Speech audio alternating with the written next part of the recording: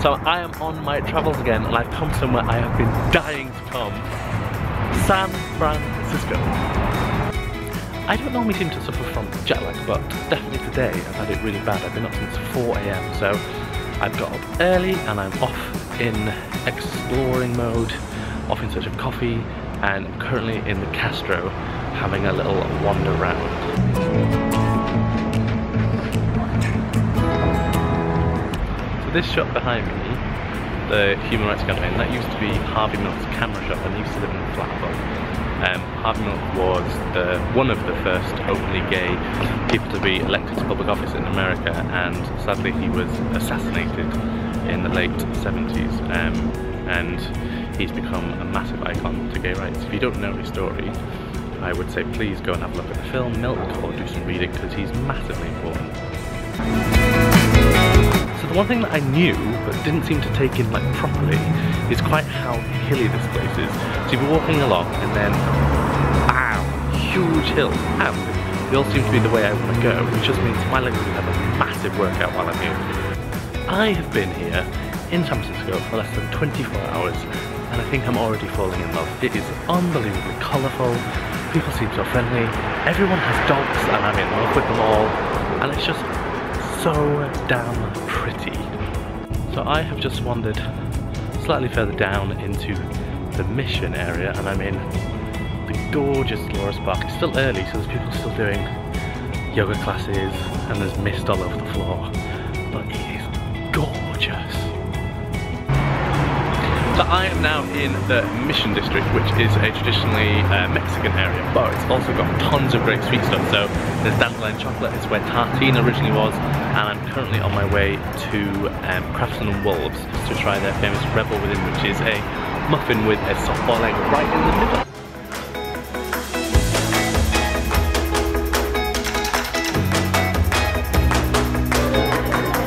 So I have really bad jet lag again so I am up early and I'm seeing San Francisco at its most magical when the light is just beautiful. I mean, come on. I mean, you, you can't get more beautiful than that. Something you should know about me is that I am all about a view. Give me a hotel, a bar, a restaurant, it's got a view, I will go. So that made me so happy. Anyway, the other benefit to being early is getting to bakeries before the queues get massive. So I'm off to one of San Francisco's most Instagrammed, tweeted about bakeries, Mr. Holmes Bakehouse, off in search of cruffins.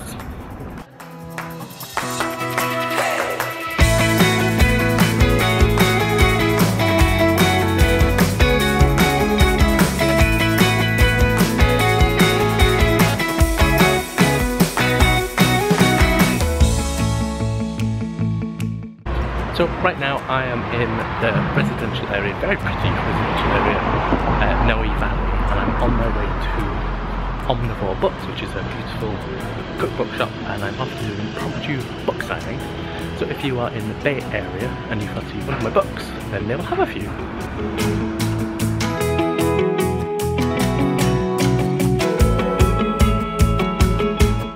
So after a morning of pastries, I am in the mission and I am in search of chocolate. And I'm heading to Dandelion Chocolate and then I think it's time for a mission burrito and some ice cream because it's still boiling.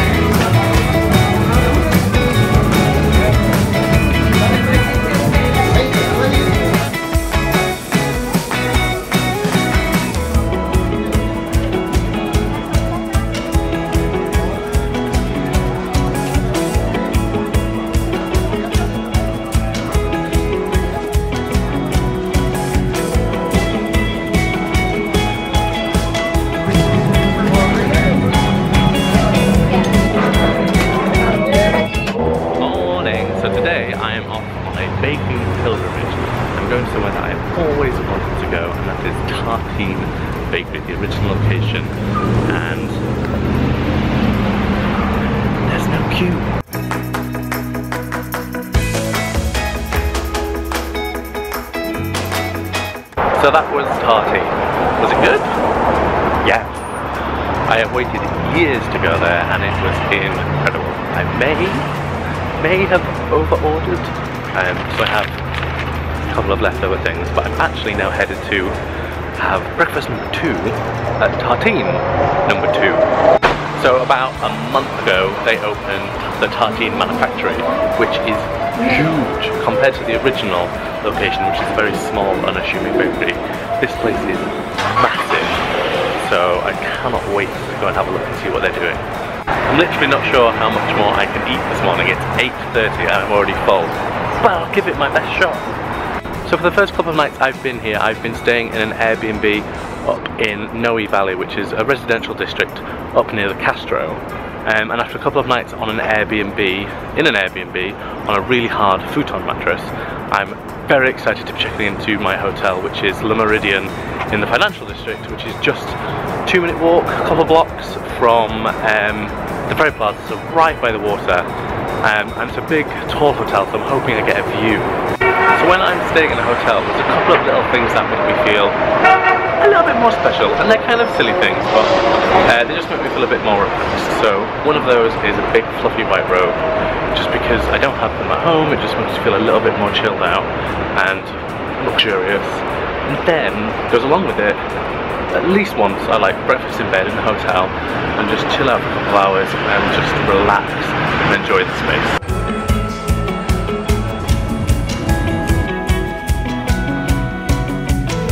I've just got to my room and I'm going to give you a little tour because it's very special. So, this is my bathroom and it's pretty damn huge. Big, big shower, which is lovely. But then, this is where the magic really happens. I've got this huge, beautiful room. Has a map of San Francisco on the back of the wall and I have to do some work tonight so this will be much appreciated. But then the best thing about this hotel room is what's outside because look at this view. You've got the Transamerica Pyramid then over in the background there is Coit Tower and then if you pan all the way around you can even see just in the background is one of the bridges. I love views so this is very special for me.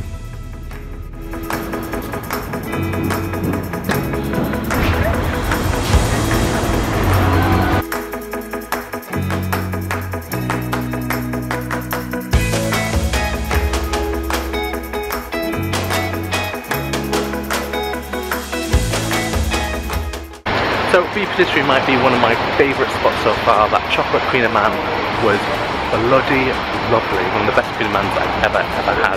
It's not in my favourite neighbourhood, but it's so worth checking out. So you might think that would be my last sweet spot of the day, but you'd be wrong. And I would hope you know me better by now. I'm off in search of ice cream and we're headed to the famous Bi-Rite Creamery.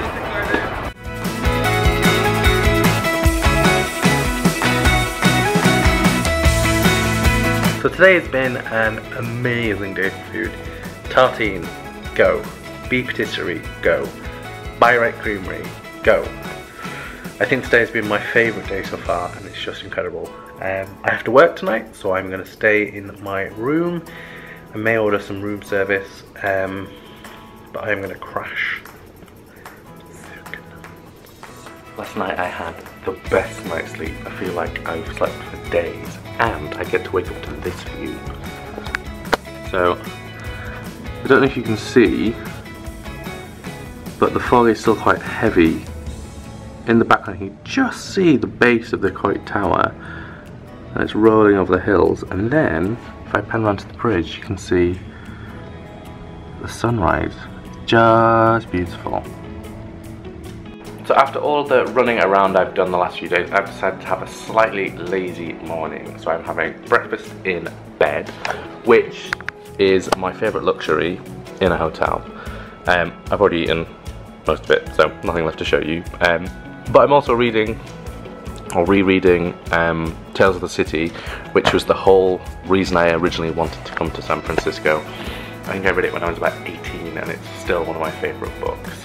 Um, but I'm getting a tour of the city today from a friend of mine, so um, completely in someone else's hands, and I have no idea what I'm doing. So my outfit of the day, this shirt is, wait, you don't want me to talk about my clothes? You want me to get back to talking about baking? Okay, we can do that.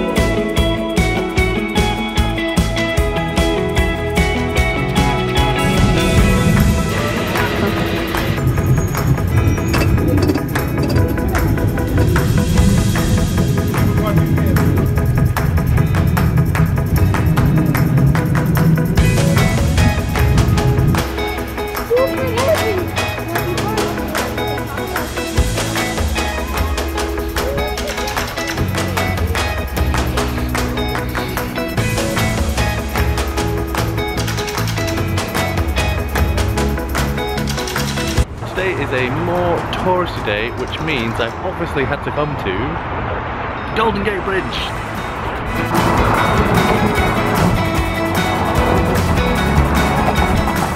One of the things that nobody seems to tell you about the bridge is it's so loud for all the traffic and, more obviously, it gets freezing cold.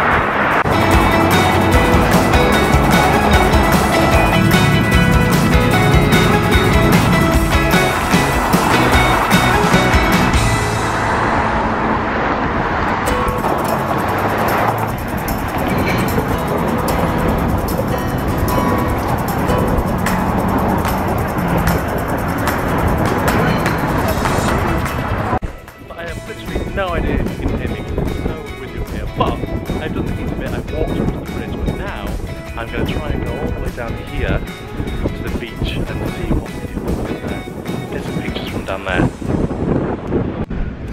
So it's a really steep climb down to the beach, down these stairs, but thankfully they are here because otherwise it would be a sheer drop down these cliffs.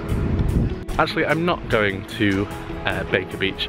I'm going to Marshall Beach, which is a much smaller beach near the bridge, but it's less well known, and also happens to be a nudist beach. Now, I'm definitely not stripping off, so don't worry, you don't have to stop watching. Um, but let's not hope I uh, stumble across anybody. So I'm already about halfway down, and already the view is just incredible. Think it's way better than actually the other side of the bridge, the touristy bit, so it's not a difficult walk really.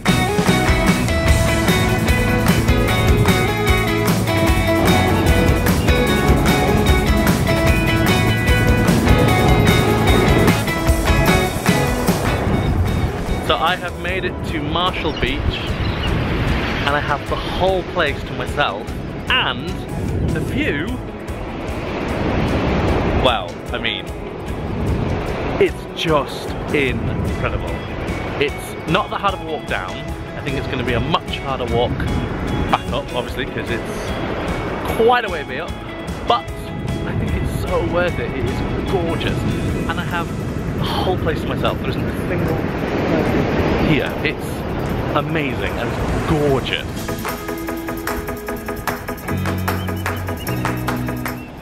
So just as visiting San Francisco, I could not go to the Golden Gate Bridge. I couldn't come to San Francisco and not try my first In-N-Out burger.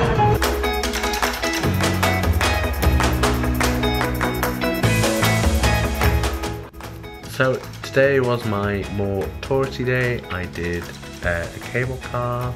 I went to Fisherman's Wharf, only for In-N-Out though. And then I went to the bridge and I have to say the bridge is as incredible as everybody says. Go to Marshall Beach if you can, or Baker Beach if you want a slightly easy walk. The views from the beach are just incredible. Um, and then I randomly met up with a friend who's in town for cocktails, which was awesome. Um, tomorrow's my last full day, and I'm starting it at 7 in the morning with a meeting, so I'm going to go to bed and get some well deserved, needed sleep. Good night. So today is my last day in San Francisco. Um, I'm all packed. I don't want to leave. I want to stay in this city forever. Um, I've completely fallen in love with this place and I'm definitely, definitely gonna miss this view. I have loved staying here. But I'm not flying until 9, so um, I'm going to go out and I'm going to go to the farmer's market and I'm just going to have a good old mooch and just a relaxed wander around the city today.